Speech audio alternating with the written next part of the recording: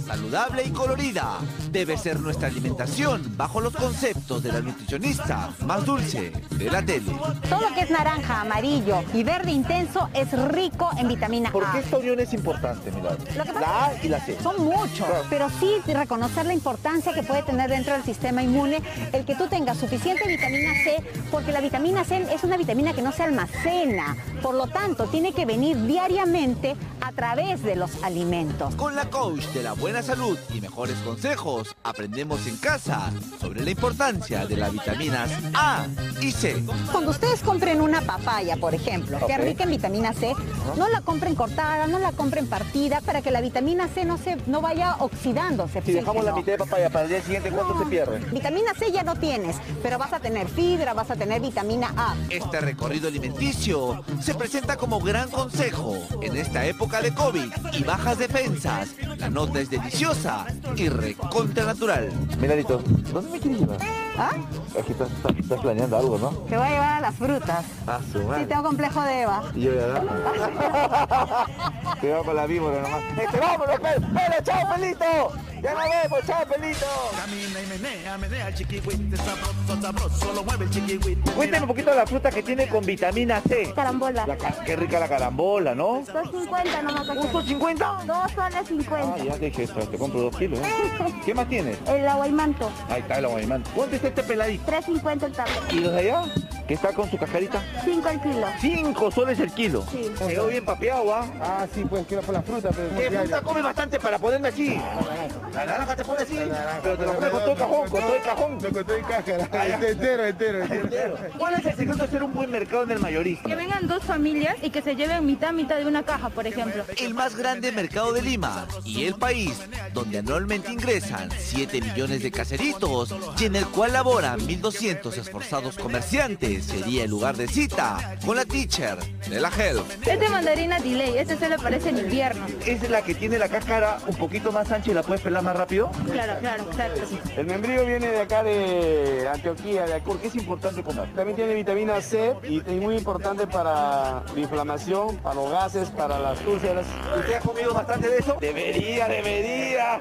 Sobre todo para la inflamación, maestro. Claro, La piña es lo máximo, ¿Por ¿no? qué la piña es lo ¿Por máximo? qué? Porque te va a desinflamar la próstata. En este centro que administra la MUNI Capitalina y que suministra de la chacra a la olla con precios de ahorro, el 30% de venta es papera y diariamente ingresan 6.000 toneladas de buenos productos.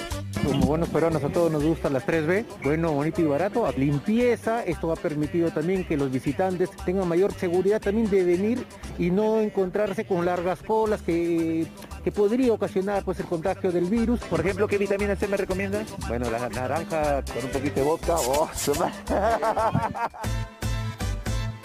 Pues bien, el AIC de la salud nos espera, bajo la informada difusión de la mujer que nos dio un libro sobre los secretos y mitos de la cuarta década, en esta época de cuarentena.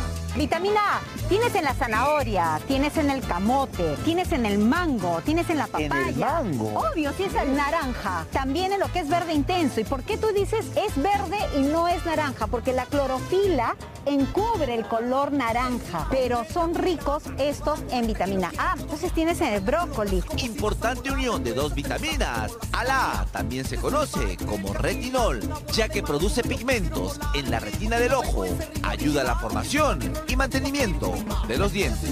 El pimiento, como te decía, también es rico en vitamina C. El limón, obviamente, la lima, un poquito el maracuyá, pomelo la toronja, también como le decimos. Tienes pitahaya, aguaymanto. Pitahaya. agua- Pitahaya siempre se ha hablado sobre el tema digestivo. Sí, claro, porque tiene una fibra que es muy buena y que puede ayudar a, a trabajar como un laxante. Pero sigamos, sí. Está bailando. No, no decimos ahorita qué fruta es, pero dejémosla al final. Por su parte, la C es potente antioxidante, soluble en el agua, previene enfermedades cardíacas e indispensable para sanar heridas, formando tejidos que ayuda a cicatrizar. ¿Qué más tenemos? Camote y la papa. La gente no quiere comer porque piensa que va a engordar. O sea, si yo me como toda esta fuente de camote, por supuesto que es más de lo que yo necesito consumir. Pero si yo como un camote de más o menos este tamaño y no hay ningún problema, y esto es muy rico en vitamina A, y la papa es rica en vitamina C.